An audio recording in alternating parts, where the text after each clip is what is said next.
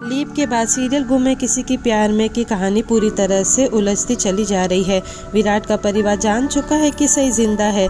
सभी के बारे में जानकर परिवार के लोग हैरत में पड़ गए हैं। सीरियल गुम है किसी के प्यार में आपने देखा कि विराट घर आने के बाद परिवार को सही के बारे में बताता है। सही का नाम सुनते ही अश्विनी और भवानी का पारा चढ़ जाता है।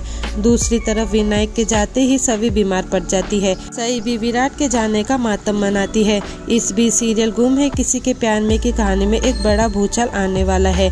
टीवी के गलियारे से आ रही खबरों की माने तो सीरियल गुम है किसी के प्यार में की कहानी में। विनायक के साथ एक बड़ा हादसा हो जाता है।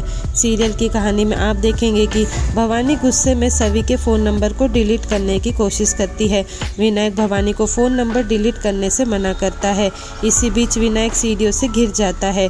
विराट विनायक को लेकर हॉस्पिटल दौड़ता है। डॉक्टर विराट को बताते हैं कि उसका इलाज सही से ही करवाना चाहिए। इस एंटरटेनमेंट सीरियल में विराट अपने अतीत को भुलाने के लिए खूब शराब पिएगा। शराब के नशे में विराट पाखी के पास पहुंचेगा।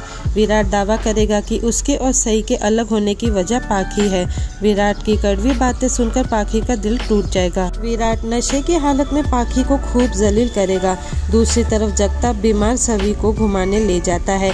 जगताप वो सभी को साथ देकर सही भड़क जाती है। सही विराट को खुद से दूर करने के लिए उसकी दी हुई अंगूठी बेचने पहुँच जाती है। इस दौरान विराट और पाखी भी शॉपिंग करने जाते हैं। सही को ज्वेलरी की दुकान में देखकर विराट दिखावा करता है। विराट पाखी को महँगा हार गिफ्ट करता है। विराट और पाखी के साथ देखने के बाद सही अपनी अंगूठी बेच देगी। तो दोस्तों, फ़िलहाल आपकी क्या राय इस खबर पर हमें कमेंट्स में ज़रूर बताइए। साथ ही अगर आप नए हो तो हमारे चैनल को सब्सक्राइब कीजिए।